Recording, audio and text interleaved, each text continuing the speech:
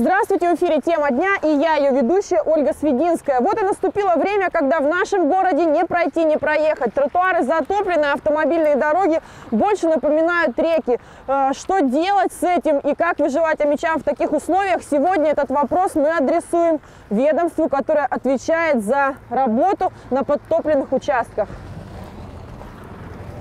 И сегодня на наши вопросы будет отвечать директор бюджетного учреждения Омского управления дорожного хозяйства и благоустройства Владимир Казимиров. А, Владимир Прокопьевич, я знаю, что уже сегодня вы выезжали на несколько мест, а, частные дома, где подтоплены, люди буквально по колено ходят в воде. Мы видим, что а, практически, ну, наверное, на 70% тротуаров очень сложно сейчас перемещаться. Плюс дороги просто у нас в реки, наверное, превратились. Вот что сейчас делается силами вашего управления? Может быть, другие какие-то службы? Службы подключаете, чтобы ликвидировать и как-то хотя бы как-то облегчить вот страдания мечей, которые сегодня просто обрывают наши телефоны? Ну, сразу скажу, что э, ситуация сегодня такая, какая она есть, но э, задолго до сегодняшнего дня э, администрация города Омска были разработаны планы мероприятия по противопаводковым мероприятиям. Соответственно, наш блок, который касается бюджетного учреждения управления дорожного хозяйства благоустройства города Омска, вошел в, в этот общий план. Я сразу скажу, что несколько таких позиций, которые, или цифр, которые я назову, которые определят. Это вывоз снега с мест подтопления в пределах 90 тысяч кубических метров с мест подтопления. Мест подтопления определены администрациями административных округов, департаментом городского хозяйства в количестве 296.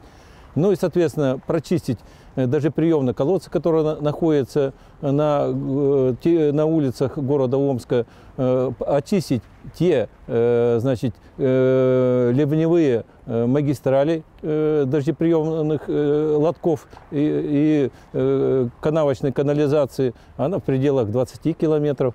И плюс водоперепускные трубы через автомобильные дороги, их количество чуть больше 300. Я сразу скажу, что уже неделю тому назад э, эти плановые цифры все уже выполнены. Вы называете цифры, да, понятно, что никто не умаляет э, заслуг э, дорожного хозяйства, которые вывозят снег, чистят ливневки, но на сегодняшний день мы видим, что на дорогах просто огромные лужи, вода никуда не уходит. То есть на самом ли деле были проведены вот эти мероприятия, которые должны были предшествовать вот как раз это время, когда у нас наступает паводок, обычно где-то за месяц, может быть даже за два, выезжают бригады, я даже сама не раз была на вот таких съемках, съемках. Но в этом году почему-то я вот не припомню, да, э, таких нас не приглашали, мы не видели, как чистилась на самом деле вот эта ливневая канализация. Чистилась ли она вообще? Судя по тому, что сейчас на дорогах э, с ней все плохо. Сразу скажу, что на сегодня даже приемных колодцев у нас на территории города Омска на дорогах более трех тысяч. Мы их почистили, причем неоднократно. Выпадал снег вот последний, снова повторно шли, очищали. Ну то есть То, они рабочие? Они рабочие. Вот я вам приведу пример. Улица Маршал Жуков здесь э, рядом находящаяся, на ней воды нет. Нет, практически нет воды. Потому Но это что... центр, а Подождите, вот что нет, я говорю, почему? Потому что здесь ливневая канализация есть. Десятилетие э, ливневая канализация есть, воды там нет. Орджоникидзе, Герцена, ливне... Э, Красный путь. Ливневая канализация есть, воды нет. Сегодня э, дорожно-транспортная сеть города Омска э, обеспечена ливневой канализацией всего лишь на 24%. Ну, конечно, вот там, где нет ливневой канализации, идет резко потайка, есть снег на улицах города, на обочинах, там будет вода.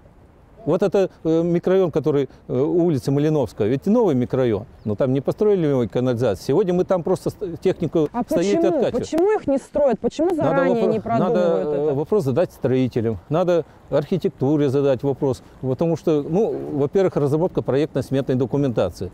Мы сегодня бюджетное учреждение, организация, которая занимается обслуживанием и содержанием. Вот как оно есть, так мы и содержим. Вы сейчас в своем первом ответе упоминали, что каждый год вы отрабатываете, то есть строится какой-то график, по которому вы готовитесь к э, паводку. То есть вы еще какие-то ведомства. А, то есть график есть, на бумаге вроде все получается. А вот когда мы сталкиваемся, когда уже начинается снеготаяние, да, то получается, что город просто-напросто тонет. В чем здесь дело? Да я Либо вам это отвечу. график какой-то да Я вам отвечу. График Пожалуйста. это есть 600 этих мест э, подтопления. Но я же говорю, что это 600 мест подтопления у нас на сегодня сделано более 300, но я говорю про свое бюджетное учреждение, про свою зону ответственности. Но если другие хозяйствующие субъекты имеют те места подтопления, это какие-то предприятия, это организации, собственники, те же управляющие компании. Их, да, в пределах 600 штук. Но ведь и каждый год вы думаете, в прошлом году не подтапливал, позапрошлом году не подтапливал. Также подтапливал. Одни и те же улицы. Из года в год. Ну Оно ну вот повторяется. Смотрите, из года в год повторяется, а ситуация не меняется. Она только усугубляется. Может быть, На... стоит как-то работать а, а Надо стоит работать. Вот сегодня вы выступаете, вы сегодня освещаете в средствах массовой да. информации. Я говорю, для того, чтобы это построить, нужны большие деньги. Десятки миллиардов рублей. И этот вопрос неоднократно ставился в администрации города, в городском совете. Просто бюджетных средств в администрации города, в муниципалитете таких не найдется. Сегодня все строительство новое, дорожная, капитальный ремонт, реконструкция, обязательно э, составная часть проектной документации – это ливневая канализация. Владимир Прокопьевич, вот э, сейчас, э, наверное, даже сегодня, да, вот э, больше ста вызовов было от людей, которые живут в частном секторе. Э, то есть э, сейчас на самом деле им там очень сложно, люди по колено в воде, э, кому-то придется покидать свои дома, ютиться как-то у родственников, потому что в домах невозможно просто находиться, они затоплены. Вот что сейчас делается, как помогаете им, Э, как бригады работают и как скоро люди смогут вернуться в свои дома. Собственники жилых помещений, так же как и собственники хозяйствующих субъектов, обязаны снег очищать, складировать и вывозить. У нас практика в частном секторе, они же собственники своего жилья, снег вывозят с ограды, теперь уже модно стало с огорода, э, то, что на улице и складируют на обочину. Но не вывозят, они должны это вывозить.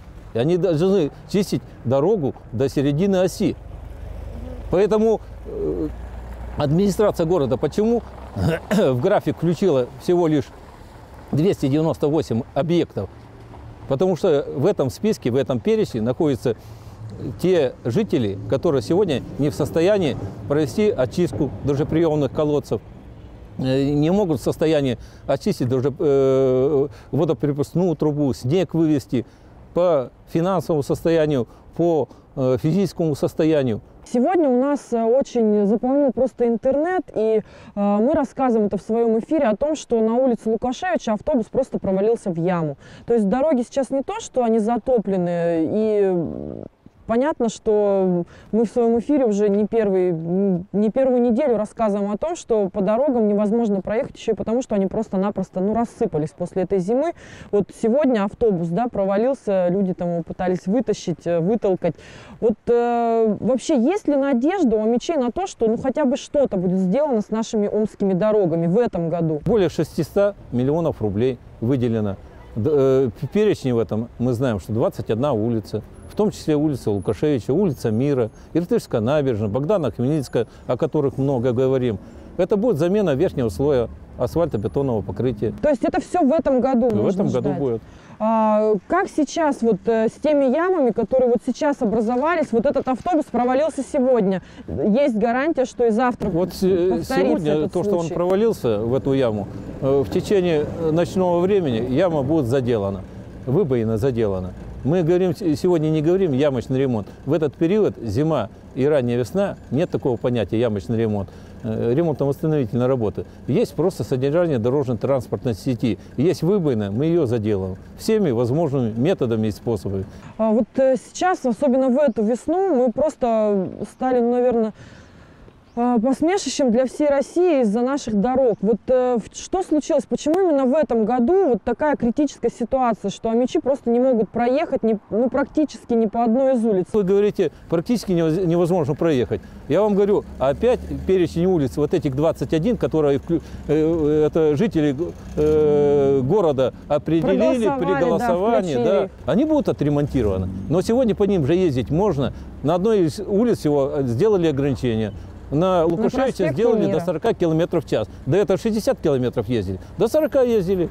Ну там и так быстрее не поедешь, Нет, потому почему? что очень много я вам ям скажу, три дня тому назад 40. я ехал с, э, с объездом э, в утреннее время со скоростью где-то 35-40 км в час. Газель это, пассажирская меня обогнала примерно со скоростью 60-70 км в час по улице Лукашевича. Газелисты уже, видимо, приловчились ездить по Ну, нашим а вы дорогам. говорите, ездить нельзя. Ездить даже с Ну. превышением скорости. В городской черте нельзя свыше 60 км в час ездить. Ну, спасибо большое за этот разговор. А, Напомню, что сегодня в теме дня мы беседовали а, с директором бюджетного учреждения Омского управления дорожного хозяйства и благоустройства Владимиром Казимировым. Увидимся.